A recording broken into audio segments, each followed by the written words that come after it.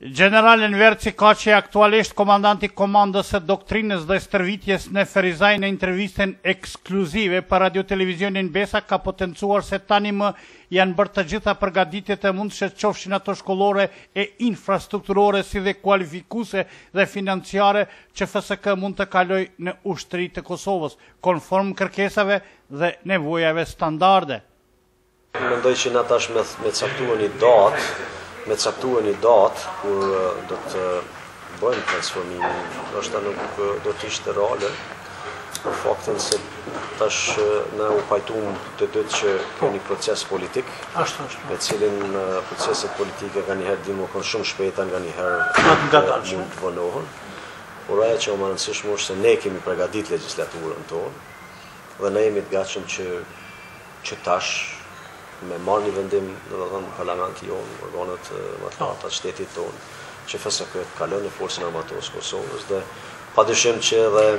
edhe ai transformim kërkon një një ngritje profesionale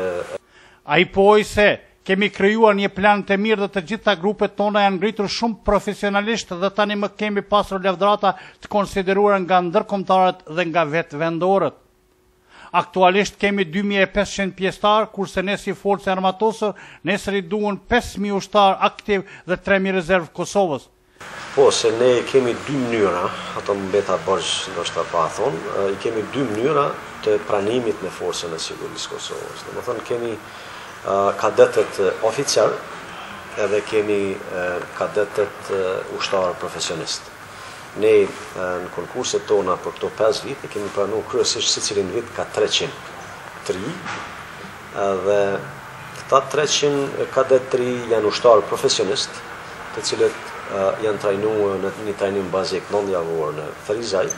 janë sistemu nëpër njësi të ndryshme dhe prap kthehen në mënyrë të vazhdueshme kryejnë kurse specialistike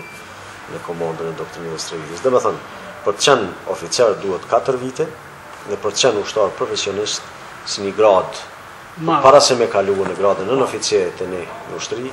a duhet që të kalojnë kuptohet nëpër procesin e selektimit,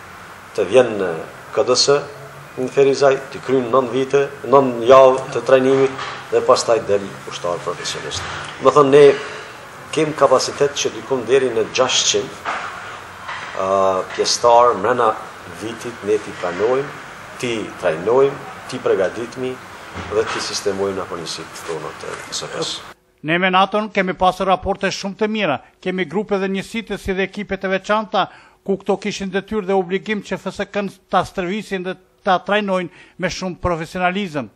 Ne i kemë shkollën tonë, që është katërvjeçare, që aty dalin oficerë tanë, Është pas katër viteve dalin secili prej tyne nëntoger. Në secilin vend botës, domethënë në në akademi pas katër viteve dalin me gradën nëntoger. Por në kuadër këtij bashkëpunimit që e përmenda të mirë që kemi me këto vende, ata domethënë edhe Turqia, edhe Maqedonia, edhe në këtë rast edhe Kroacia, Na kanë ofruar neve që t'i dërgojmë kadetët tanë në qendrat e tyre, në akademitë e tyre, që nga viti i parë. Gjitha këto janë donacione të cilat ia ofrojnë shtetit tonë, edhe ushtrisë tonë. Në Turqi është viti i katërt që ne pranojmë kadet. Në Maqedoni është po ashtu viti i katërt që pranojmë, por në Turqi e kemi edhe një ofertë mirë këtë vit edhe për tre kadetë në Akademinë Mjekësore në Turqi. Këta pas katër viteve të shkollimit atje kthehen dhe bëhen oficerë të në kuadër të, të forcës sonë dhe sjellin eksperiencat, edukimin, shkollimin e tyre që e kanë bërë në këto akademi që janë me zë, sidomos në, në Turqi, në Kroaci, por edhe akademia në Maqedoni tashmë ka kriju një eksperiencë. dhe ata kanë mundësinë që nga mosha e re, diku mosha 22-23 vjeçare,